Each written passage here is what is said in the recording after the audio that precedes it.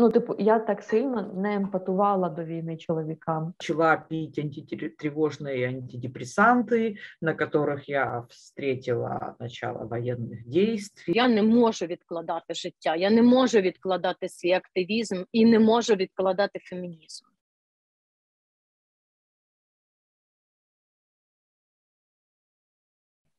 Привіт, Аня і Марина. Привет. Зібралися ми в зумі з трьох різних місць, е, щоб обговорити наші досвіди війни е, і як змінилось наше життя е, з початком війни. І я не знаю, можливо, нам треба ще сказати пару слів, хто ми. Марина Усманова, директорка феміністичної організації «Іная». Вот. Да, мене звати Анна Шаригіна, я е, з Харківського жіночого об'єднання Сфера. З, це громадська організація. А мене звати Йош, і я голова громадської організації Феміністична майстерня у Львові.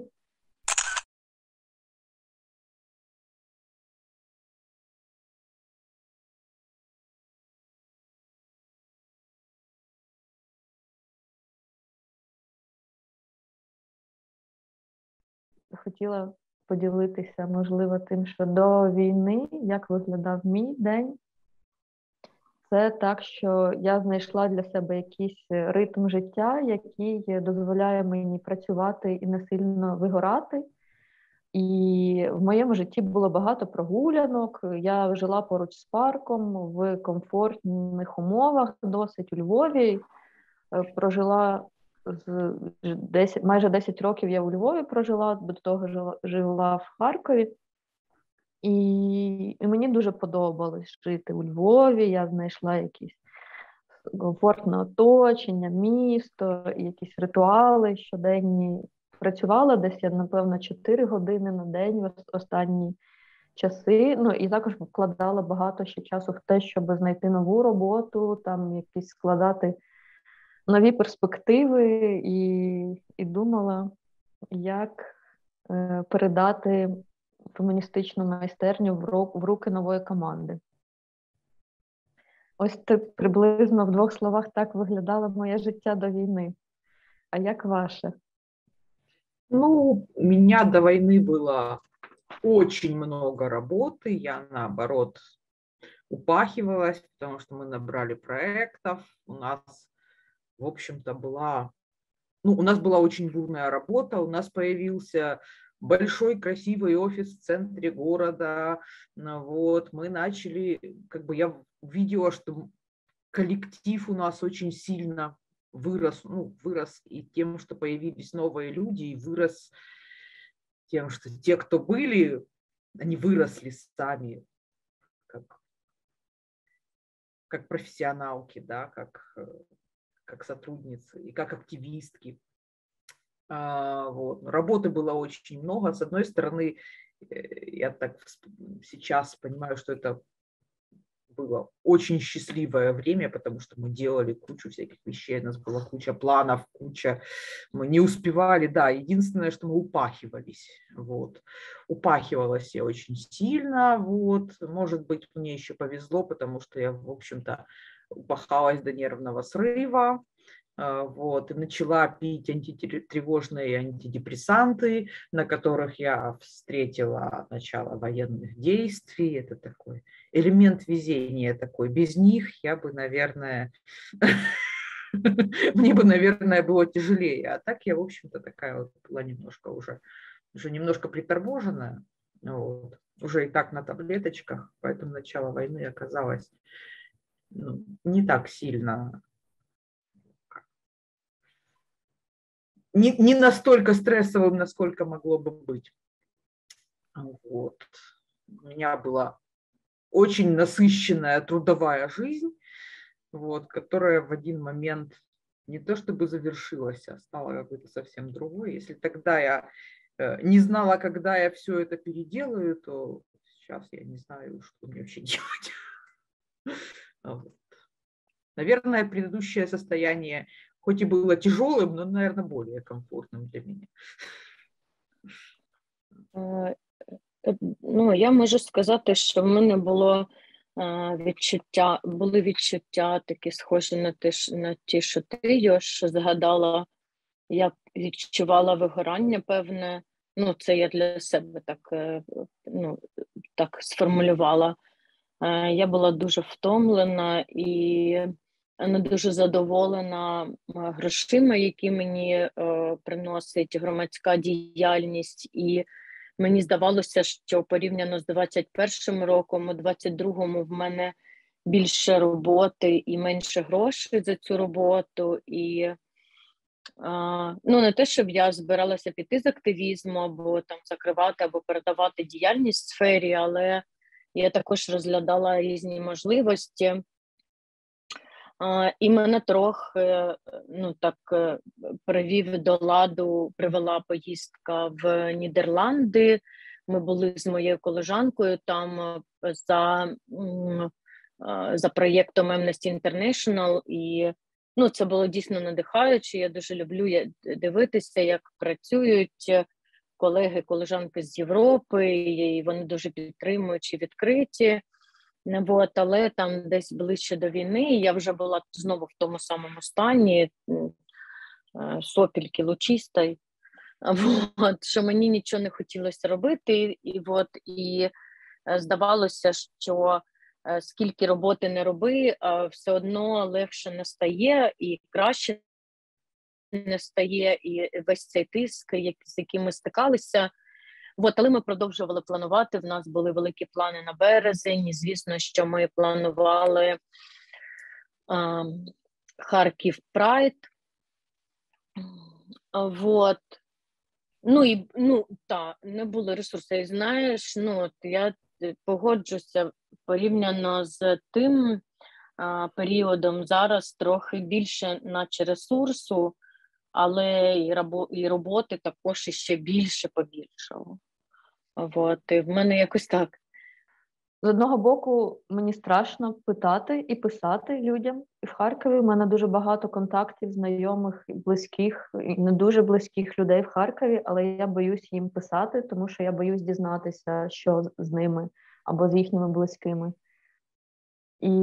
Ну, слухай, е, на відміну від Херсону, наприклад, е, Харків не було окуповано і е, ну там, типу, навіть і близько, і е, да, в нас обстрілюють, але після не знаю, другої бомби, здається, от то, такої бомби, яка від якої трясеться дім. Е, Ну, ну, типу, так така ілюзія створюється, що наче ти, ну, типу, е, як це всі, ну, як це під куполом якимось. У нас з партнеркою є різні стратегії. В мене це шапка невідімка, а в неї це е, така кришечка від як для мікро, мікрохвильовки, щоб е, їжу накривати. От, і ми, типу, накриваємо дім. Я ні, а вона да і це допомагає від бомбардувань. Насправді ні, от, але е, так, ну е, ні, мені дуже важко. І я впевнена, що да, можна змушувати себе працювати, можна прийняти умови такі, як для праці або для життя, але легкими вони не станов, не стають. Тобто це все одно дуже давить. Е, от. Проте я думаю, що ми, як люди, які е, ну, звикли наша організація працювати під тиском, зараз трохи, ну, скажімо так, трохи легше переносимо оцей тиск. От в мене особисто таке враження.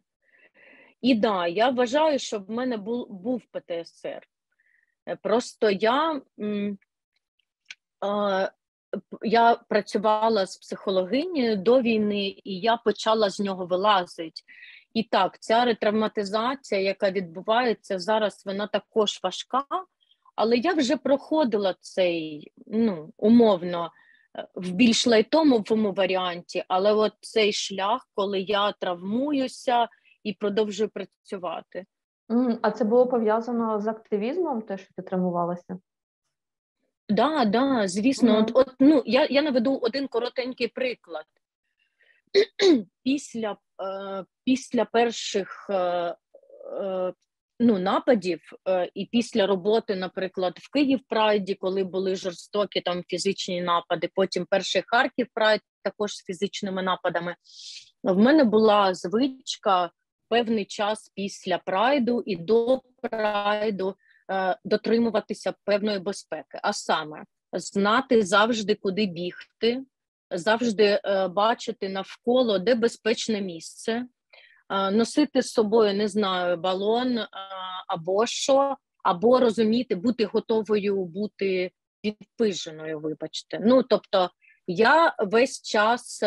Ну або там, наприклад, 6 місяців, тобто навколо наших активностей березневих і прайду, я перебувала в такому стані, що от будь-яку мить можуть вийти з з кута з, і, і на мене і кинутися, і мені було страшно за себе, за свою партнерку, за свого сина.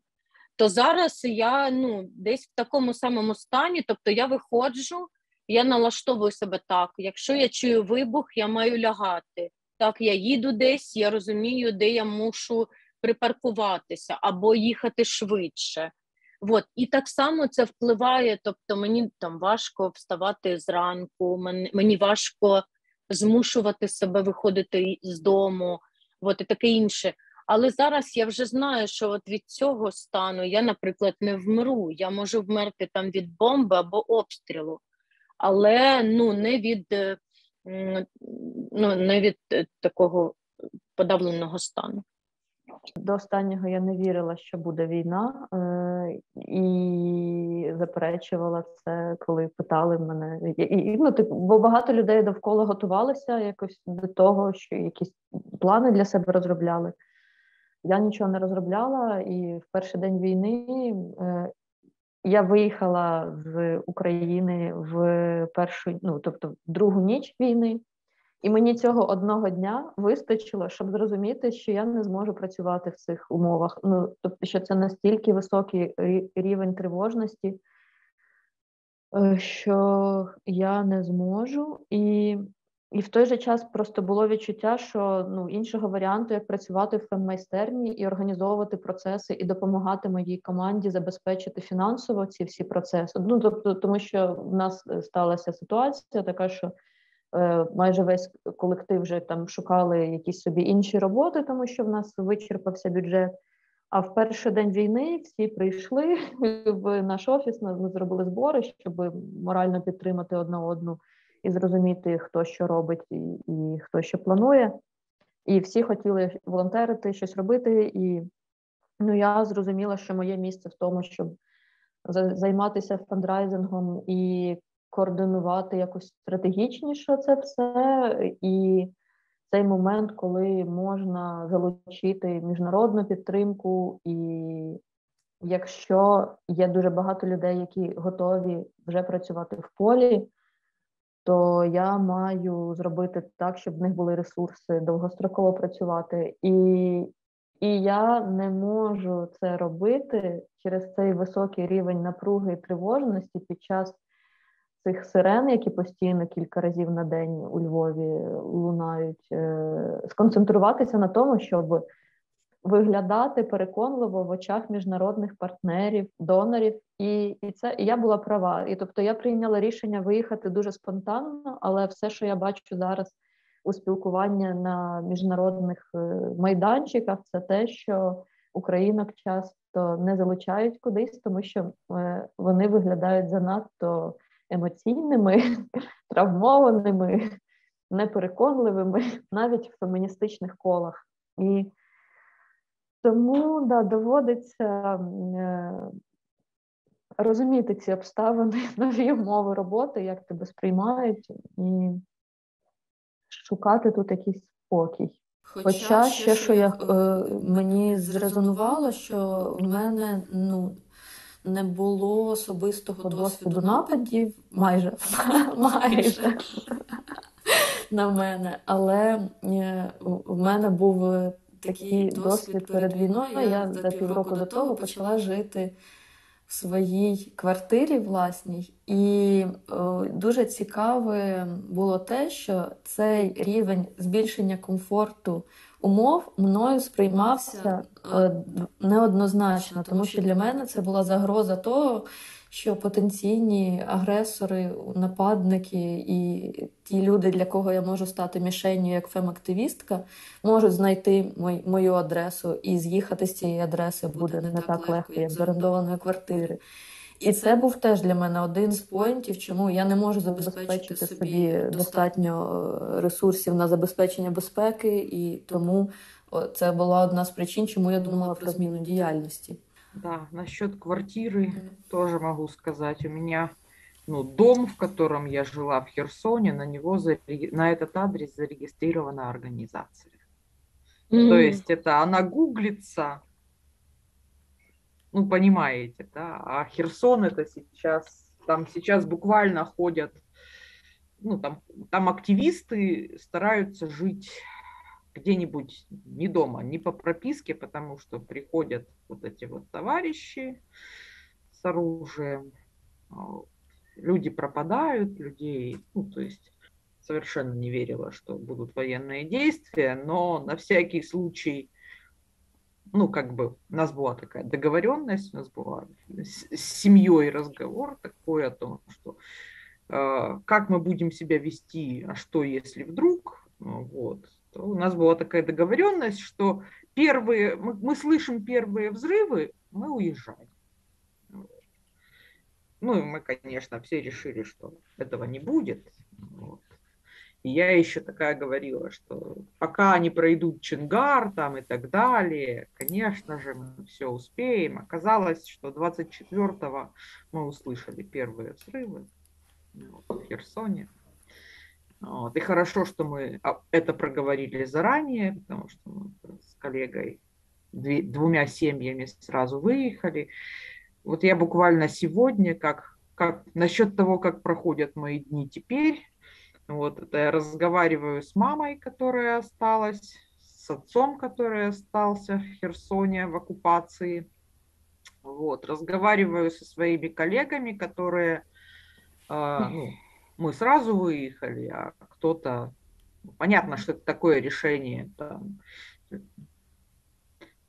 две мои коллеги, которые, которые не уезжали из-за кошек, грубо говоря, да. Вот, они до сих пор там, мы до сих пор ищем возможности как-то их вывести. Вот сегодня мы в очередной раз разговаривали. Вот это очень все сложно, вывести это, вывести людей, то есть там буквально кто-то оставил машину и говорит, где оставил ключи, да, вот, то есть было такое, что не так давно было, что человек оставила машину свою, говорит, у меня там машина, ключи лежат там-то, если найдете кого-то, кто умеет водить, то пусть он выведет, вывезет людей, и эти люди выезжают на свой страх и риск, потому что выезжают с очень нехорошими приключениями. Уже были и те, кто выезжал через плен. Российские угу. посты оккупационные. Угу. То есть они не выпускают. То есть украинские всех впускают без проблем, а они не выпускают людей или, в общем-то, иногда выпускают, но нет никакой, иногда расстреливают, знаешь. Ну, то есть вот угу там есть где-то путь свободный более-менее, люди друг другу передают, что вот сейчас там можно выехать. Вот ты едешь, угу. вот, там 10 машин выехало, там, а дальше кого-то расстреляли или кого-то остановили. И... Ну вот, в общем-то, я тоже ищу ресурсы, ищу возможности эти ресурсы как-то как-то использовать так, чтобы это было более-менее понятно донорам и более-не менее полезно херсонцам, потому что для нас имеет, ну, для, я как бы ми фокусуємося зараз на Херсоні. А є зв'язок постійно чи яким чином ти комунікуєш з связь своїми есть. рідними? Связь угу. есть, Viber, Telegram, связь есть, видеозвонки проходят, да. Вот. Нету пути. То То есть на дорогах невозможно выехать. А, вот, бывает там, люди пытаются находить варианты там водным транспортом выезжать, потом начинают расстреливать лодки. А, вот. Это вот все. То есть, ну, у меня есть знакомые, которые выезжали, которые перед этим держали там сутки или двое, там допрашивали и так далее. Все вот эти вот вещи. Да, мені здається, що зараз якась така велика зміна в суспільстві це те, що всі, мені здається, це не буде перебільшення сказати, що всі люди займаються таким активізмом, що ми багато контактуємо з близькими людьми, багато хто намагається їх витягнути, і переконати. Моя частина часу була присвячена тим, тому щоб переконати батьків виїхати з небезпечного регіону, але я перестала це робити. Вони не хочуть виїжджати, ну там вже ніби безпечно. І цікаво, що ви думаєте, чи чи це для вас феміністичний активізм, чи типу, це де тут фемінізм в цьому? Чи, чи, чи, чи тут є щось таке, про що можна говорити? Це феміністичний підхід, чи це не феміністичний? Чи це вже перестало мати значення насправді, коли є такі потреби виживання?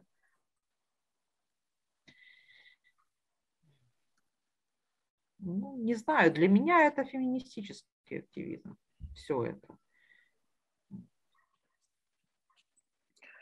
Ну, слухай, не знаю, ну, феміністичний чи ні, але абсолютно точно можу сказати, що я не мріяла цим займатися. От взагалі, і мені не цікаво.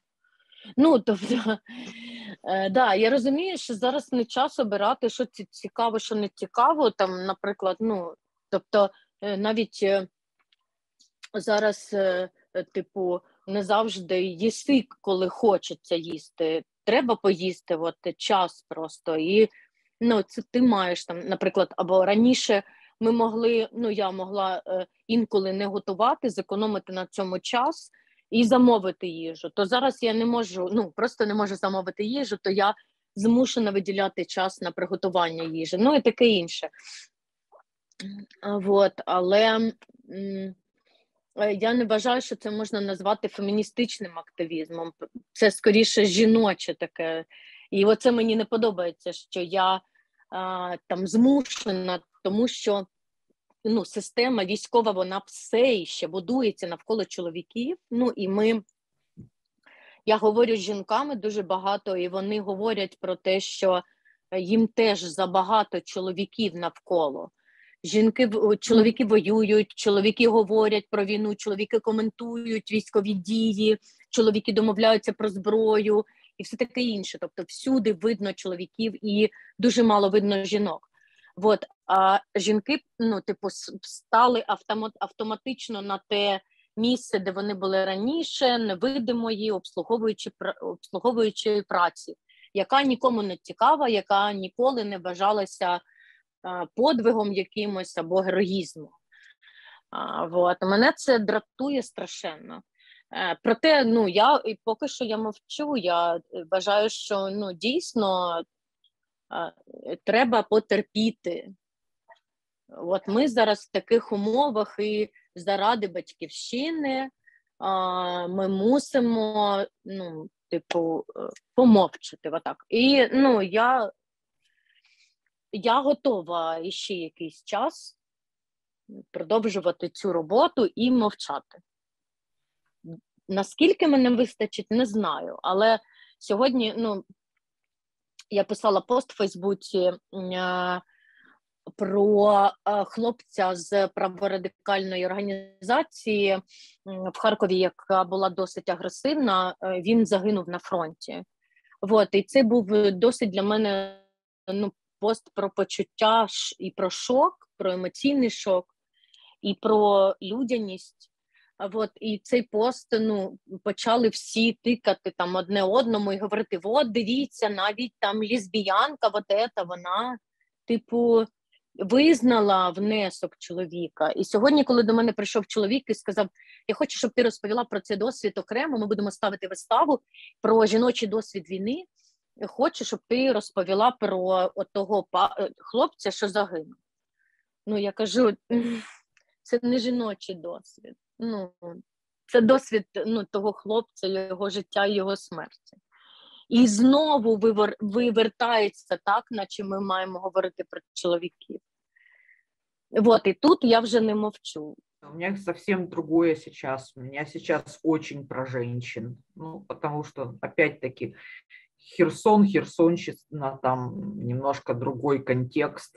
Э, там именно женщины выходят с плакатами, там именно женщины на, на всех, ну, то есть я постоянно переписываюсь с женщинами, которые доставляют лекарства, в Херсон, которые выходят э, на митинги, которых после, которые после этих митингов не выходят на улицу, потому что, потому что лицо засветилось и так далее, которые ну, действительно делают какие-то героические вещи, а, ну да, наверное, наверное, потому что я так вот сфокусирована больше на своем доме, да, на, на месте, откуда я на своем любимом городе, да, а, а там не, не идут, ну, там не идут боевые действия, там бои идут в области там и так далее, и, в общем-то, там скорее гуманитарные проблемы, они, ну, вот, и там вот этот вот женский героизм, женщины, которые, ну, я знаю, кто ведет телеграм-каналы, там, которые оповещают херсонцев буквально обо всем, потому что там телевышка раз, раз, разбомблена. Ну, то есть это, это тоже женщины. Это женщины, которых даже имен нельзя называть, потому что к ним придут домой. Вот, но ну, хотя да, я понимаю, что, наверное, сейчас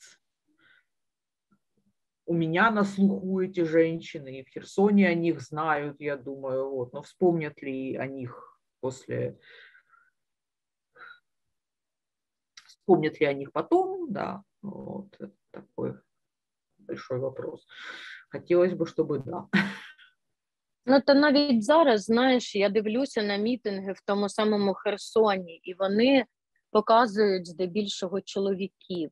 Тобто я я ж також не кажу, що жінки нічого не роблять. Навпаки, я вважаю їхній внесок дуже великим і дуже важливим, але невидимим і невидимим не тому, що вони так хочуть, а тому, що це висвітлюється і знову історія пишеться чоловіками про чоловіків. Мені особисто зараз стало складно, складніше набагато говорити про досвід жінок і про важливість е, саме феміністичної діяльності. Тобто те, чим я займаюся, це розповідаю про потреби гуманітарні, там якісь кризові потреби, і про це всі хочуть чути. А про а про те, щоб наголошувати на якихось аспектах, які були важливі до війни, е, мені зараз не йдеться, і навіть і да, я оце абсолютно е, солідаризую з тим, що Аня, ти кажеш, що треба потерпіти і да, є таке відчуття, що як тільки війна закінчиться, ми будемо знову обговорювати те, як погіршилася там ситуація з сексизмом і так далі. І... Але е, насправді ці процеси не так відбуваються, що ми можемо знати, коли буде коли насправді настане час. Але за моїми внутрішніми відчуттями мене трошки якось підбільшує, коли Є певні організації, глобальні структури, які е, питають: розкажіть, яким чином, як по особливому страждають жінки, і як від війни більше страждають жінки. Ну, знаєте, є такий підхід? І ЛГБТ. І і для мене це звучить дико, і я сама е, здивована тим, що я стаю в позицію пояснювати, що зараз чоловіки і жінки страждають однаково взагалі-то. Або я навіть інколи ловлю себе на тому, що пояснюю, що чоловіки страждають більше в деяких випадках. Ну або ну, типу, або е, поки я дійду до того, що поясню, що е, жінки страждають по-особливому, то мені до цього хочеться сказати, що але ну можливо, це через те, що я коли я виїжджала. Е, я ну просто я не знаю, як описати це відчуття, що я, як жінка, можу виїхати, а всі мої близькі чоловіки вони не мають права це зробити. І це насилля держави е, над людськими тілами, які змушені воювати. Е, ну, Для мене це якась величезна проблема в той же розуміючи і потребу захищати державу, це оце, оце те, те, що розділення гендерне е, таким чином. Все ж таки, мені здається, проблемою, і я дуже сильно емпатую чоловікам, і, ну, типу, я так сильно не емпатувала до війни чоловікам. Тобто мені раніше було простіше виступати за права жінок, ніж зараз. Е, я ну, не можу сказати щось на підтримку цього, бо ну, в мене, наприклад, цей ну, мій фокус не змінився. Е, я і до війни, і зараз я не виступала і не виступаю за чоловіків. Я просто виступ, ну, тобто проти чоловіків. Е, я виступаю просто за жінок, і в мене фокус не посунувся. І і якщо здається, що в жінок є більше вибору, ніж в чоловіків, то давайте пригадаємо тих жінок, які лишалися в Бучі в Ірпені і в інших місцях, е, про які просто не говорять, які давали себе гвалтувати тижнями. Е, заради того, щоб е, окупанти не чіпали дітей. І я вважаю, що так само, як е, ти там ти Йош, кажеш, що чоловіки страждають там під час війни, так само ну, сильніше, да? але вони страждають не сильніше за жінок, вони страждають сильніше за те, як вони там були там пригноблені чи ні до війни. Просто ми звикли е, да, говорити про те, що чоловіки йдуть на війну, і війна, типу, більш важлива справа, бо там можна втратити життя. Проте жінки, які зараз повністю присвячують себе догляду за, наприклад, дітьми, це теж не життя. І так, можливо, вони не будуть скалічені фізично або фізично не помруть. Проте вони стикаються також з травмами. І і, і з травмою, з ретравматизацією і таке інше, то мені здається, хибний шлях вимірювати кому гірше.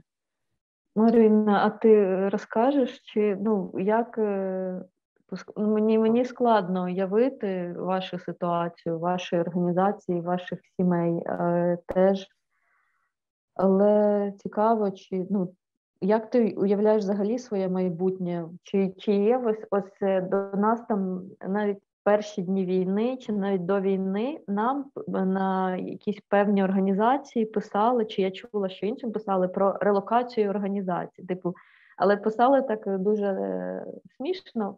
Писали, ми вам рекомендуємо е, виїхати ваші організації.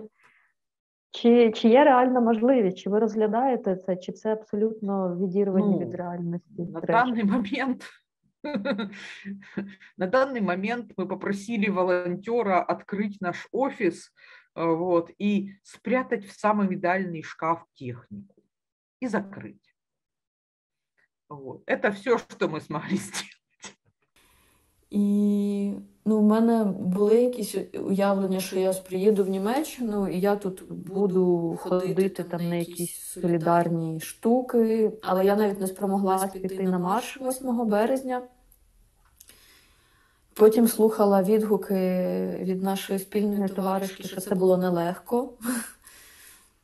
Е, цікаве теж протиріччя, що з одного боку я відчуваю, що приїхала туди, де багато солідарності, багато ресурсів. Там кожних вихідних є демонстрація на підтримку України. але в той же час це щось зовсім не те, чим займається наша організація. Ось що тут всьому феміністичного є е, в нашій діяльності, це пояснювати, як так сталося, що організація, яка виступала проти мілітаризму стільки років, тепер пише в себе в соцмережах теж заклики до того, що дайте зброю Україні. Слухай, а є якесь е, серед твоїх кіл активістських е, розрізнення в тому, хто що має право зараз робити, е, кого репрезентувати, за кого висловлюватися. Ми, здається, обговорювали з тобою раніше, що є певна хвиля там, ну, взагалі в українському суспільстві є певний хейт щодо тих, хто виїхали. Але от серед саме серед активістської спільноти, і тим паче там з небезпечних регіонів, чи є якісь такі настрої, що от ви виїхали, ви не маєте права нас репрезентувати, наприклад, чи е, робити щось, е, ну, типу, чи ну, це... Скажем так, в, в моем комьюнити нет. Ну, то есть в ЛГБТ комьюнити, вот в том, что мы, ну, я с таким не сталкивалась.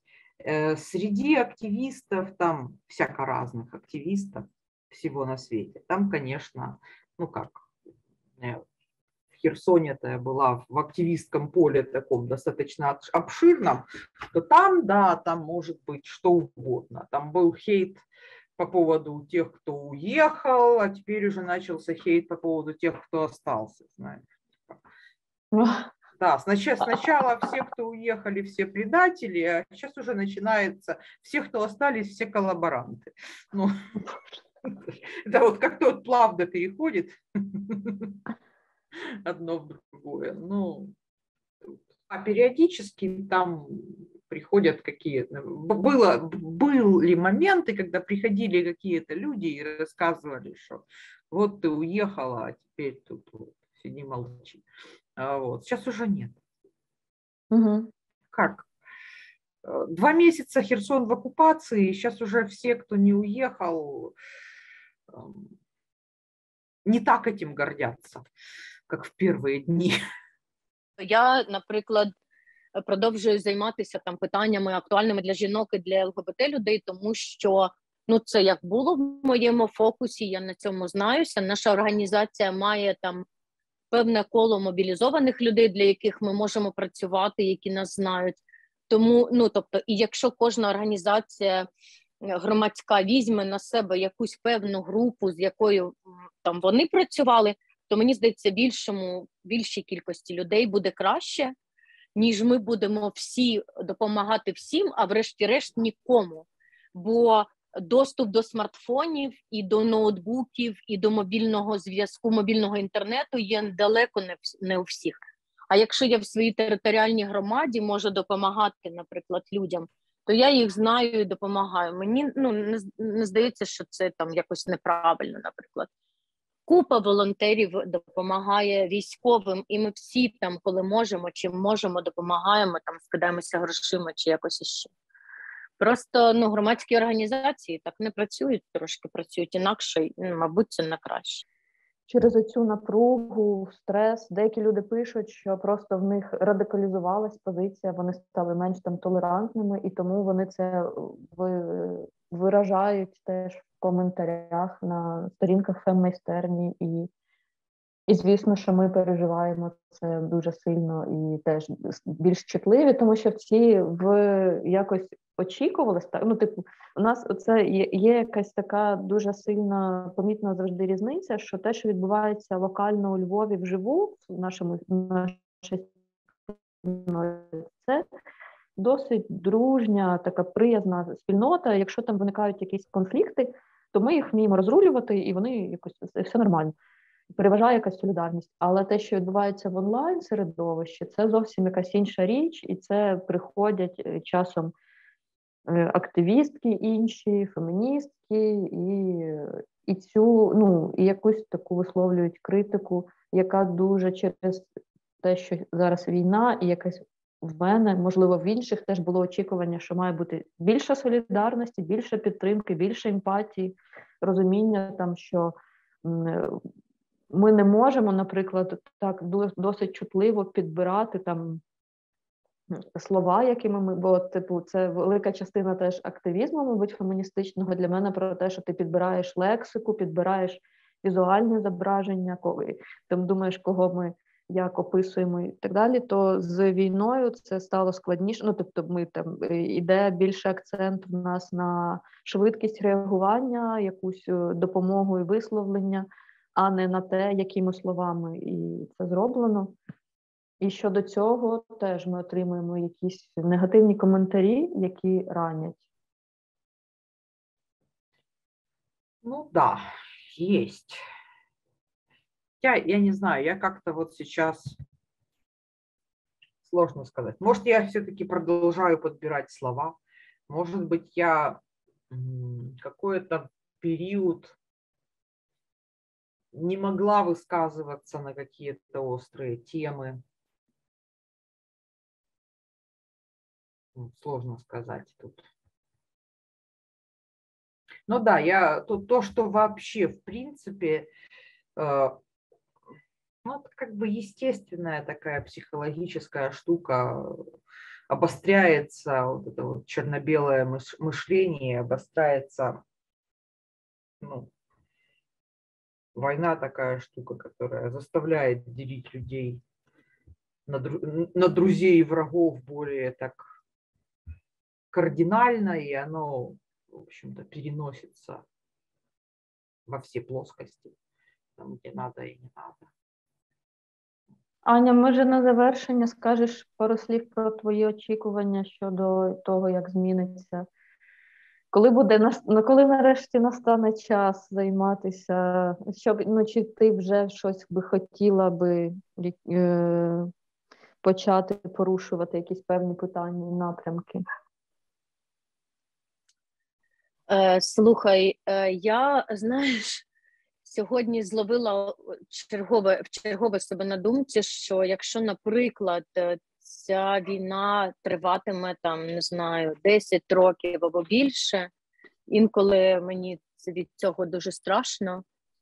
Е, то я проживу 10 років в умовах війни, а потім і мені буде 55 вже, а потім іще щонайменше 10 років в умовах, е, як це українською, розрухи, і в мене взагалі не лишиться життя. Вот такий песимістичний в мене прогноз. Е, да, то, ну, то я в такі, в такі моменти я розумію, що я не можу відкладати життя, я не можу відкладати свій активізм і не можу відкладати фемінізм. І я думаю про те, що чи маємо ми дарувати свої там тижні, місяці нашого життя російським окупантам і росіянам, чи ми можемо дійсно бути активними вже зараз? Тому я скажу так, що ну я намагаюся те, що я намагаюся зробити для майбутнього, це зробити так, щоб потім мені не довелося виправдовуватися перед собою що там не сказала, там не сказала, і зараз мушу е, зовсім спочатку починати. Я намагаюся робити так, щоб все-таки тримати певний базис, певний фундамент, який був закладений, і над яким ми всі працювали. Е, вот. А що буде в майбутньому? Ну, давайте так маленькими кроками. Е, там, от там найближчі дні будемо допомагати фінансово-психологічно. Далі, я думаю, будемо говорити про сексуальне здоров'я і культуру згоди.